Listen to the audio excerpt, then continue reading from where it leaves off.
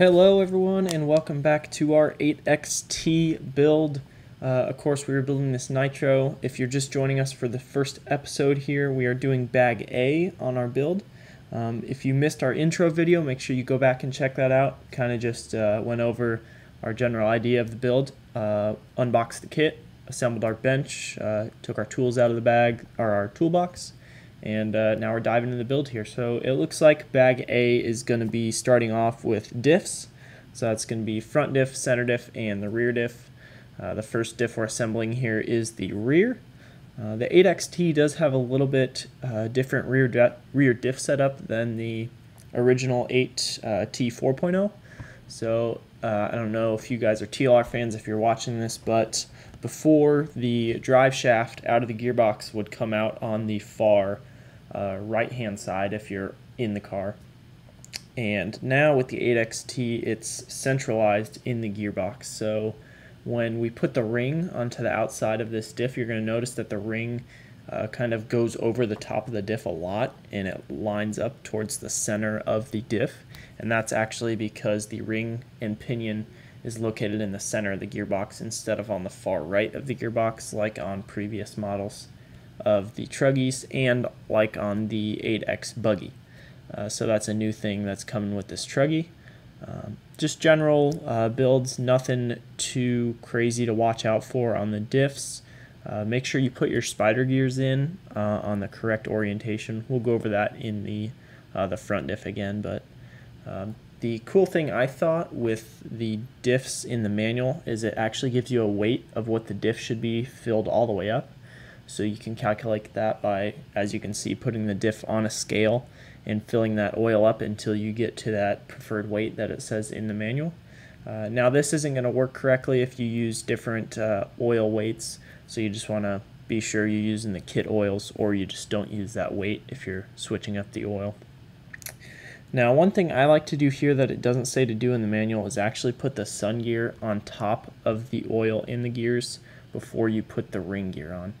Because I feel when you put the sun gear onto the ring gear and then try and flip it over onto the diff cup, the ring gear always falls out. Uh, maybe that's just user uh, user experience on my end, but I prefer to put that sun gear on the gears and then put the ring gear on top. Uh, just a little bit easier build for me personally.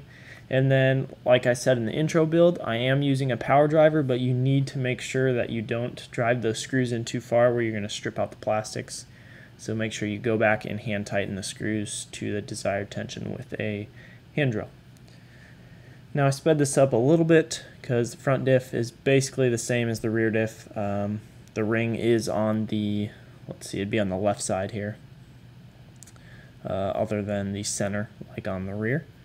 Um, I'll show you guys the, the spider gear lineup here. So if you're looking into the diff cup, there's channels that the spider gear uh, shafts lay into. One channel goes deeper than the other channel. You want to make sure you put your first set of spider gears into that deeper channel so they can sit all the way on top of that bottom sun gear.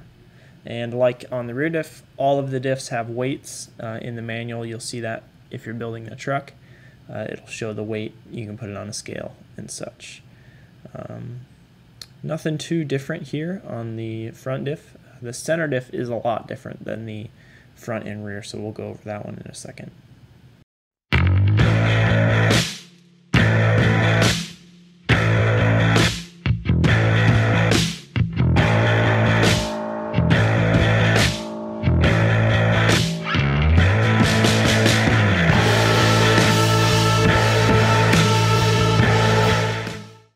So we're getting the center diff unboxed here. Now, this center diff is called an HD diff. So what this is, is the cross braces uh, for the spider gears, spider gear, sorry, go into kind of a post that slides into the diff cup. Uh, I'm assuming this is just to make it a bit more secure uh, and stable because we are putting a higher volume oil in this diff, so it's made to lock it up a little bit. One thing I didn't like about this too much is that the gears seem really tight. Um, the I'm to say metal posts that the shafts go into were really tight. They didn't want to spin very free, but I'm assuming once you run the truck for let's say half a tank of fuel or a half a gallon of fuel, uh, those diffs are going to be nice and broken. You're going to need to replace them anyways. So um, nothing too different and weird there. You do, do need to make sure you pay attention to the orientation of those posts going in because there's a flat side and then there's a curved side. That curved side is going to press up against the outer portion of the cup and the flat side is going to sit on the inside of the diff cup so the spider gears can spin freely on that. Um, that's one thing I made sure of before I put the diff together once I noticed it was kind of a little crunchy, uh, but I'm sure it'll free up in, uh, in running time.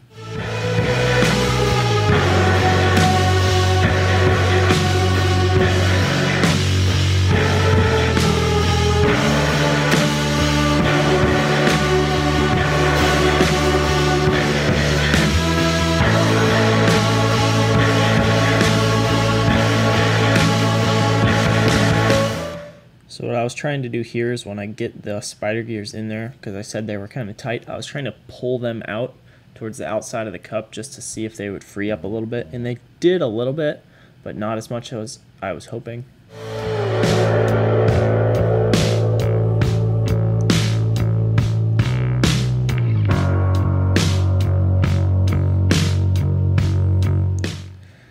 Now this I was pretty surprised at, that the uh, diff weight, not the not the actual physical weight of the uh, diff, but the oil that comes with it is a hundred. Uh, no, it wasn't that high. It was twelve thousand. Yeah, I think it was twenty five hundred diff oil, uh, which I thought was pretty heavy. So we'll maybe we'll see that and tune around with that in the in the future. But uh, I did overfill the diff a little bit right there, so I just wipe it off with a paper towel, make sure it's to the top of the gears uh, put my sun gear in and put my cap on.